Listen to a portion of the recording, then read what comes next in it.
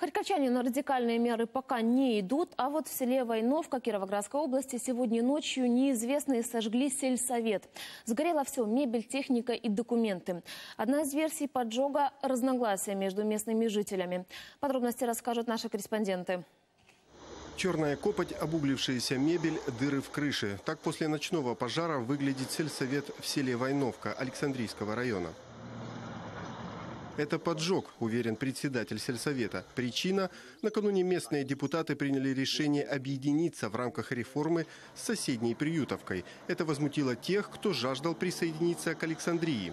Я вважаю, що це був підпал, тому що горів конкретно мій кабінет, інші кімнати не горіли, тому що все пов'язано е, з даним фактом, по- по тому, що зв'язане все з об'єднанням територіальних громад, а саме з Приютівкою е, чи е, з містом Олександрією. В полиции открыли уголовное производство. Поджигателям грозит от 3 до 10 лет тюрьмы.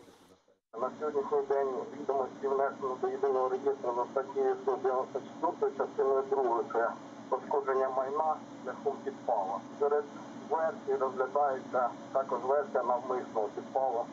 Пока полиция ищет виновных, председатель сельсовета уверяет, процесс объединения Войновки с Приютовкой уже не остановить. Ведь копии сгоревших документов остались в районной администрации. Андрей Кровец, Елена Брынза, Руслан Гаврилов. Подробности телеканал Интер, Кировоградская область.